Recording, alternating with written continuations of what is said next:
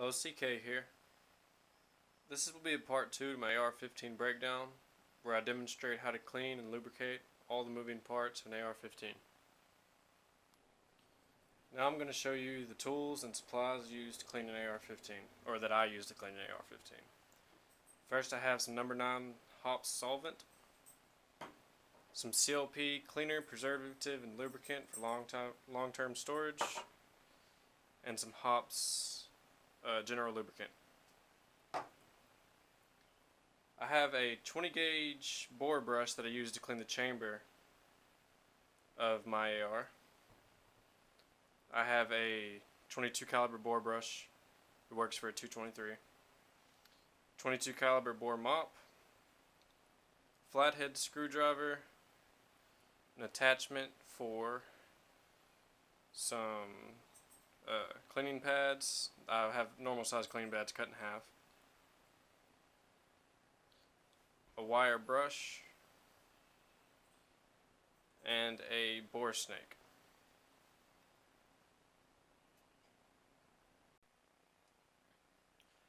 I like to use the 20 gauge bore brush to get inside the chamber. I know they sell M16 chamber brushes, but I believe this works just as well.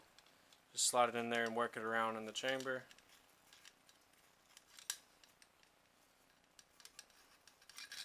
And then throw on the 20 gauge bore mop to sweep up the chamber with.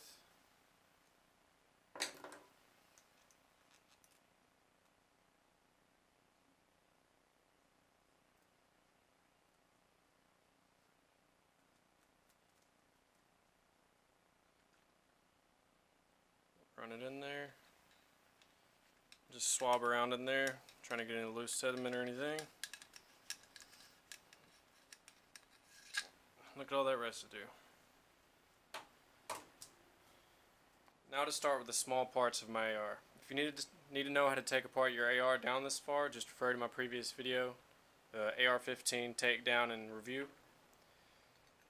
Here I have my bolt, extractor, and firing pin, and all the pins that go with it soaking in the number 9 solvent little CCI 20, 22LR mini mag case.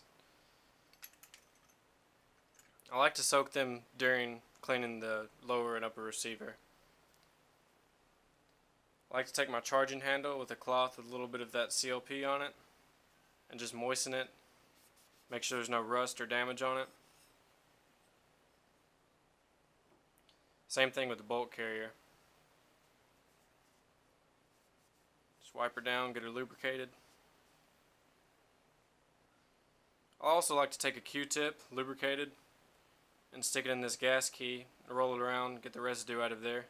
Just make sure you don't leave anything in there with the Q-tip.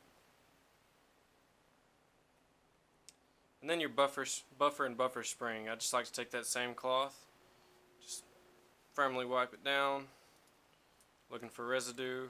It's fairly clean right now.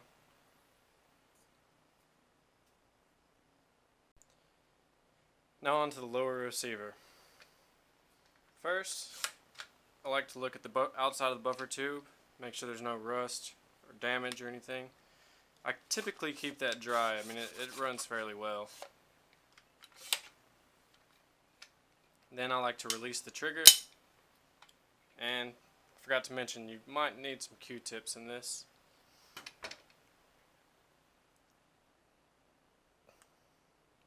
Take some of that Hoppe's General Lubricant on it. And just work it around in the trigger mechanism. Just get all the residue you can out of there. Make sure you don't leave anything in there. Mine's fairly clean right now, but you can tell it's not all the way clean.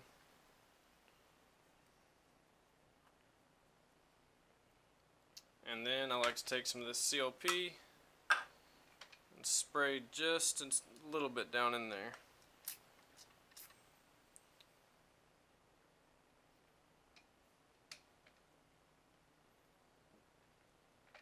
Also with the lower, lower receiver you have these takedown pins. I like to push those in a bit and hit it with the CLP on those.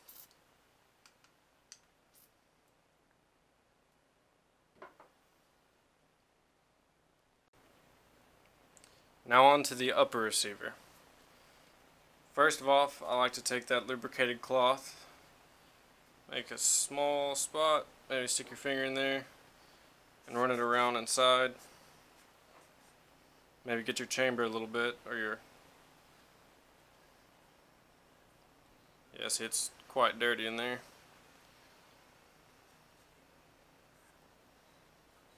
Get it nice and lubricated in there, and nice and clean.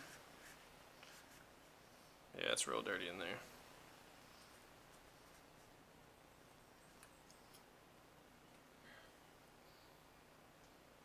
And now I like to start off with a 22 caliber wire bore brush attached to the cleaning rod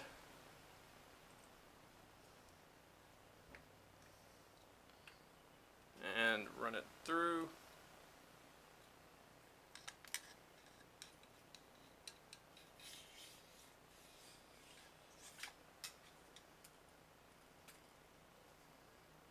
And make sure you take the brush off the end so you won't run that residue back through. I've seen some people do that. And repeat that maybe two more times.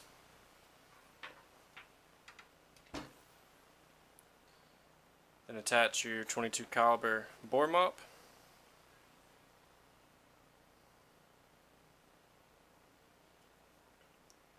And mop the residue out.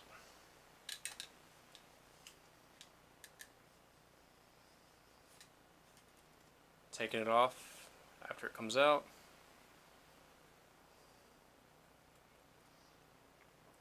And repeat that one or two more times.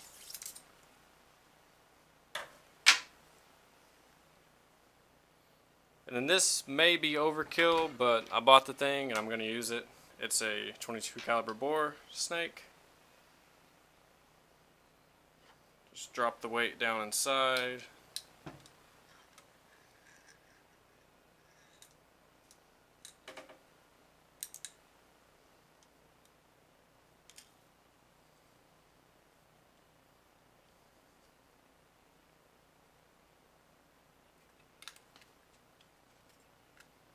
Start at the muzzle and pull out. Make sure the tail end doesn't get caught on anything.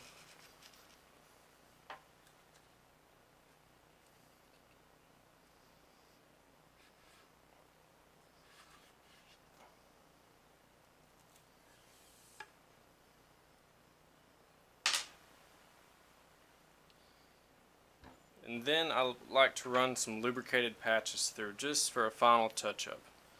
Like I said, it may be overkill, but for long-term storage, this is a good idea.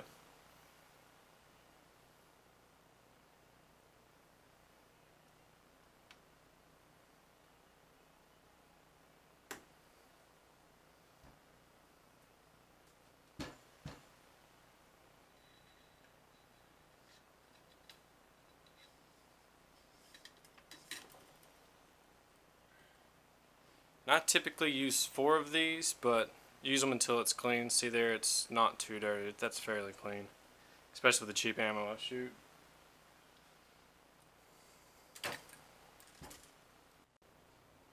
Now to put the gun back together. Starting with the bolt and the extractor.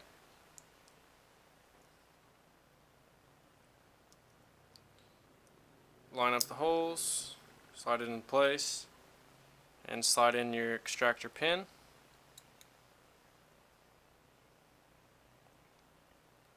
Slide your bolt into your bolt carrier extractor at the 11 o'clock position. Your bolt retainer pin.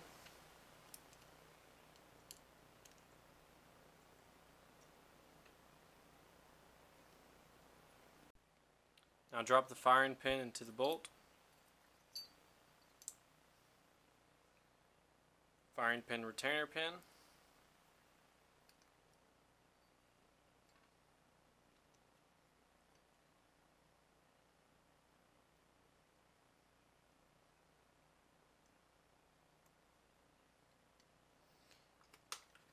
Bolt carrier group into your AR. Well, charging handle first.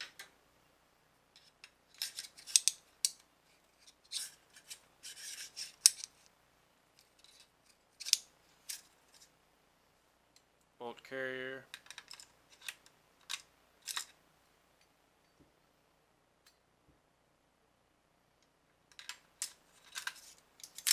Snaps. Alright, to put the buffer back in the buffer tube, you do not need to press the pin down. Just slide the spring in and lock the buffer in place. Meet your upper receiver with your lower receiver, use the front pin first and lock them together. Then back pin, dust cover, and do a do a check of your gun. Everything runs smooth.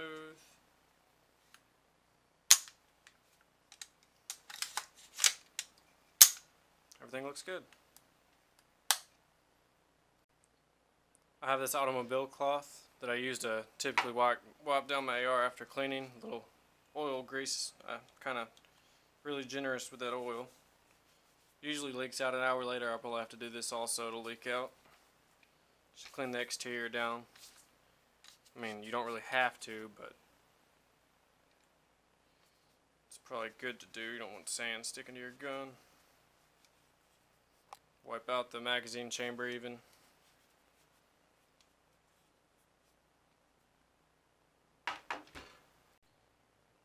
Alright guys, hope you enjoyed the video. There should be more to come. Thanks for watching. Don't forget to like, subscribe, and favorite. And even share on your Facebook if you'd like to. I want to give a shout out to Pro Rancher for giving me the inspiration to do this video. And you'll have a good day.